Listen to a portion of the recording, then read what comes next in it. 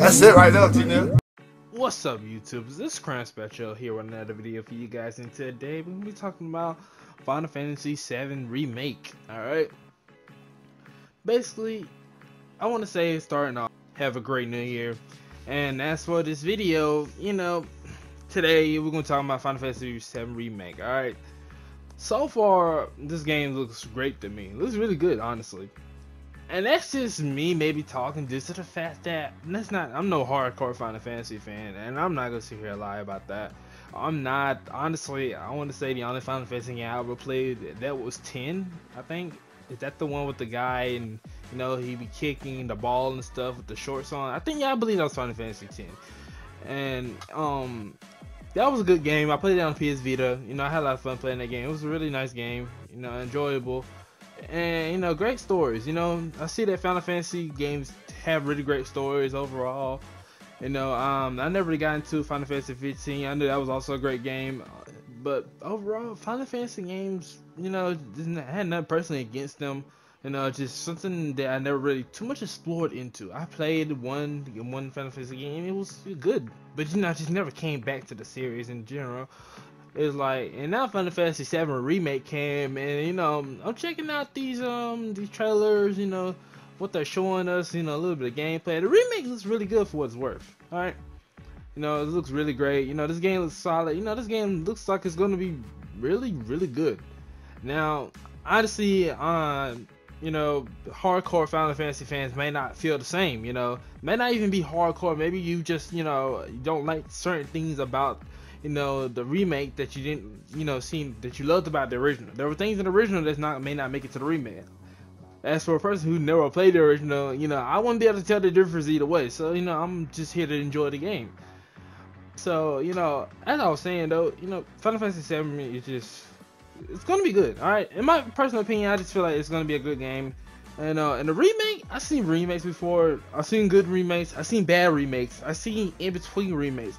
And as far as remakes go, this looks really good for just a remake. This game was really, really good. You know, they they took a lot of time into the remake of this game. And it seems like they put a lot of time and energy into the remake of this game to make it a lot more approved and more updated for um, next gen consoles and stuff. I'm not sure this game. I'm not even sure if Final Fantasy VII remake ever gonna make it to the PS5. It may do, may not. I don't think it will though. I'm not gonna say for sure, for sure. But you know, I think this game's supposed to come out like was it February? No, April sometime. I think it's like April. I know this is coming out. It's coming out around April, March, somewhere around that time. I'm not sure about the exact date, but somewhere around that time. And Final Fantasy is one of those series that I only got into simply due to the fact of Kingdom Hearts. I played Kingdom Hearts 3, had a fun with that, had a lot of fun with that game, beat that game, and uh, and also you know they also made me aware of you know Square Enix also had another series franchise called Final Fantasy, and you know of course Final Fantasy has some very unique characters, you know, very unique, you know, very great characters. I do like all the main characters from the different Final Fantasy. Oh man, I almost forgot. I did play Final Fantasy Dissidia, you know, uh, the original PSP version and also the one on the PS4. I didn't feel that one too much. I prefer the one on the PSP more. But anywho, you know, Final Fantasy, all the main characters look really great. Cloud was indeed one of my favorites. But I won't say he's my favorite, favorite Final Fantasy character, but you know, he's one of them. And uh, this big sword and the way his outfit, everything about him looks pretty solid and looks pretty dope, honestly. For a character, he stands out in my opinion, and you know, he just he just stands out to me.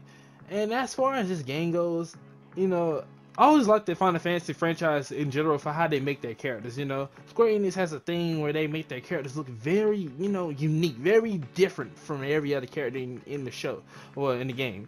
You know, they make every uh, character look very different. So you know, like there's no character that you're gonna find inside a Final Fantasy game that looks alike or even similar. Maybe maybe I won't say maybe they should show some couple uh, like qualities, but they all have very different styles and very different textures to you know to the characters, you know.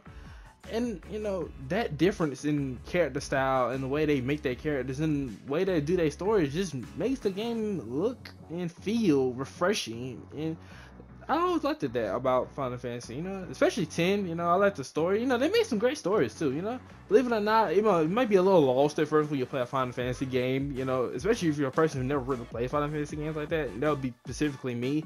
And uh, at first you may be a little lost, but as you go along, you play the game, you start to understand the story more and more. And the more and the more you come into the story, the more intrigued you become by the story. It feels like the more you love the story, the more you start wanting to play. You want to play more. You want to play the game so you can learn more of the story.